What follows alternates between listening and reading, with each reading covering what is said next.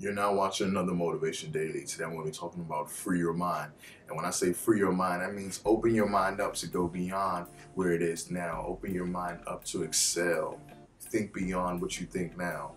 Do not let what you think about at this moment be the only thing that drives you to go for more.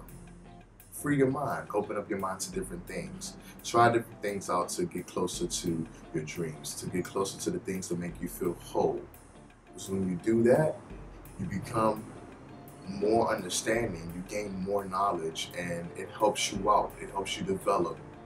When I started to free my mind and think out of the box, it started to make me a different person because I wasn't thinking this way no more, but I was seeing things from a bigger picture. I was thinking about more than one way to succeed. I was thinking about more than one way to get what I want in life. I was bringing different ideas, different topics, different standpoints to help me and mold me and to help me become a better person. And when you start to free your mind, you start to unleash.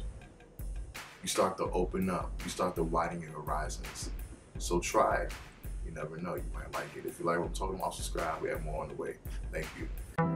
Thanks for watching. If you enjoyed this piece, please subscribe for more content. And if you would like to give any ideas, you can leave that in the comment section below or email. To donate tips or resources, you can also do that with the links posted. Thank you. Have a great day.